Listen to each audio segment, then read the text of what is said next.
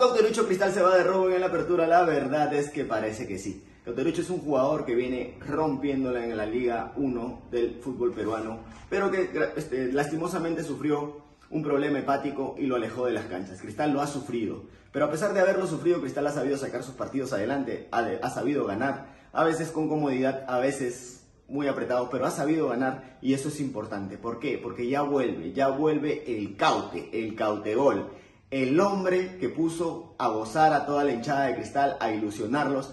Y la verdad es que yo también me rindo a los pies de Cauterucho porque es un gran jugador, es un jugador que a pesar de la edad que tiene es un goleador nato, sabe definir, no tiene sangre para definir, no se pone nervioso, es un cyborg del fútbol.